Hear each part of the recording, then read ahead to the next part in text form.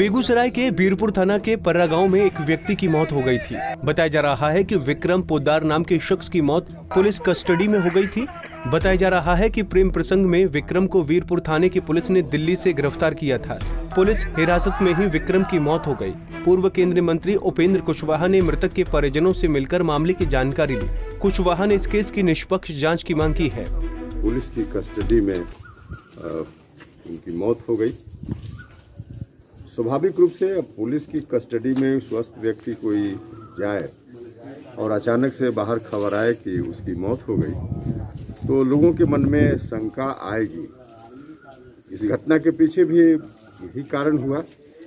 सब लोगों के मन में, चाहे उनके परिवार के लोग हों अगल बगल के लोग हों या आम आदमी जो न्यूट्रल किस्म का आदमी है, जिसने भी जहाँ सुना, सबको लगा कि आखिर कैसे कोई स्वस्थ व्यक्ति पुलिस की कस्टडी में जाए और वहाँ उसकी मौत हो गई।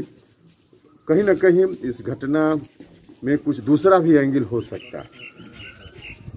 खुद मौत न होकर यह भी संभव है उसमें कि उसकी हत्या की गई हो। अब पुलिस की निगरानी में अब सच क्या है? आम जनता को इस बात का हक है पूरा पूरा जानने का। उनके परिवार के लोगों का भी हक है, कॉमन आदमी का भी हक है।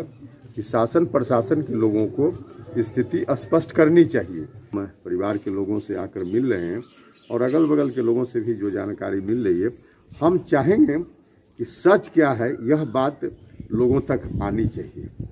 और यह बात तब आएगी जब ठीक से उसकी जाँच होगी। स्थानीय जो पुलिस के अधिकारी हैं, अब इनसे जाँच बिल्कुल न्यूट्रल किस्म से हो जाए यह संभव नहीं है। सब लोगों की राय है। तो उच्च स्तरीय इसकी जाँच हो, ताकि सच्चाई क्या है, परिवार के लोग भी संतुष्ट हो जाएँगे, दूसरे लोग भी संतुष्ट हो जाएँगे। तो उच्च स्तरीय जाँच की बात हम करेंगे। वहीं जन अधिकार पार्टी के अध्यक्ष पप्पू यादव ने भी बेगूसराय में हुई हत्या को लेकर नीतीश सरकार पर हमला बोला। पप्पू यादव ने कहा कि नीतीश सरकार के राज में गरीब लोगों की हत्या की जा रही है। उन्होंने क्वारंटीन सेंटर में बद इंतजामी का आरोप भी नीतीश सरकार पर लगाया। यादव ने कहा कि बिहार में अपराधियों का मनोबल बढ़ गया है क्योंकि लॉकडाउन के दौरान भी यहाँ हत्या और अपराध का सिलसिला जारी है।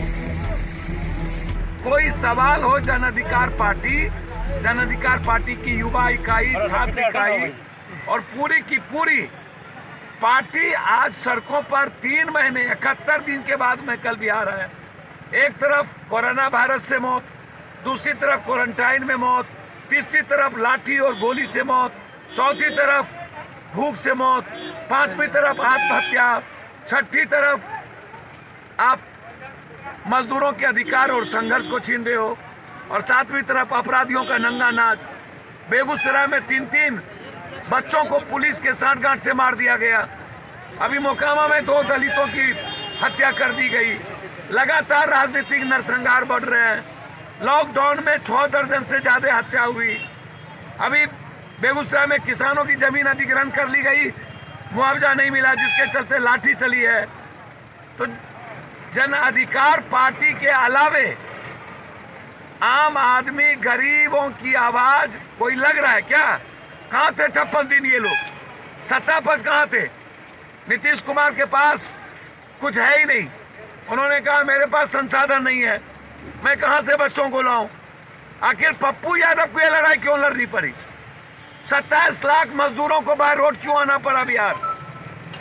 आज क्वारंटाइन में जानवर से बदतर ज़िंदगी क्यों?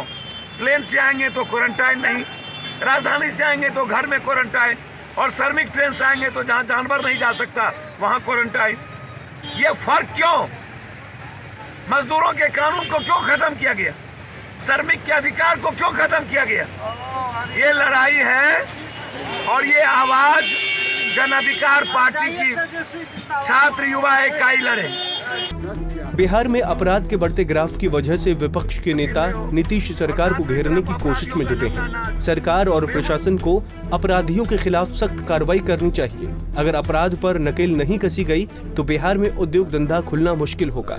पंजाब केसरी टीवी के लिए बेगूसराय से संतोष प्रसाद की रिपोर्ट।